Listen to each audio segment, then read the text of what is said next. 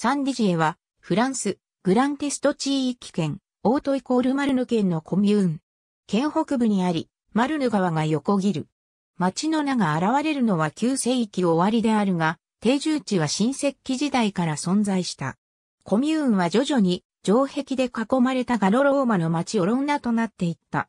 言い伝えによると、破壊を逃れたアンデマトゥヌムからラングル司教ディジエの遺体が運ばれ、教会が建てられたとされる。中世のサンディジエは、ダンピエール家の支配の下で、ノートルダム教会周囲に発展した。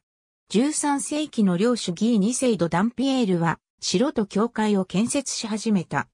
フランドル伯の娘を妻に迎えたギヨームド、ダンピエール時代、フランドル都市の組織に影響を受けた公民権付与憲章が制定された。1228年には、市の議員たちに対して一部の権限が異常された。戦略的要所にあったサンディジエは、1544年にフランソワ一世とカール五世の間で争われ、包囲された。要塞は7ヶ月もの包囲に耐え、フランソワ一世は住民の勇気を称えた。1544年9月のクレピー・アンラノは条約によって神聖ローマ帝国領だったサンディジエはフランスに併合された。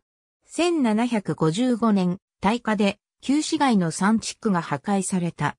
第一次世界大戦、ベルダンの戦いにおいて、サンディジエは前線への供給地点として、どこよりも役立ったコミューンであった。第二次世界大戦、ドイツ空軍の飛行場がサンディジエに置かれたために、アメリカ空軍、イギリス空軍による複数回の爆撃を受けた。成功の長い歴史を持ち、その専門知識から都市は成長した。一方、オルティズ兄弟が創設したアイスクリーム工場はミコのブランドを開発し有名になった。これらの経済成長に伴う労働者の住宅のニーズに応えるため、サンディジエ郊外にフランス初の大規模集合住宅団地の一つ、ベールボアが建設された。ベールボアはコミューン人口の約4割を占めるに至った。